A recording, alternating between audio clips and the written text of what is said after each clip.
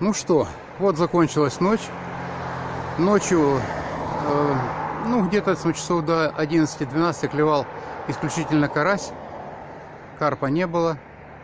Потом э, сняли червяк, чтобы карась э, не клевал. Поставили мы только горох. Э, за ночь напарник взял два карпика.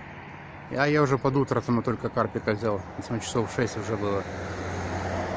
Ну ничего, все, все путем. Сейчас закормились, поставили кормушки, убрали макушатники. Все, будем ждать карпа. Еще одного, еще одного.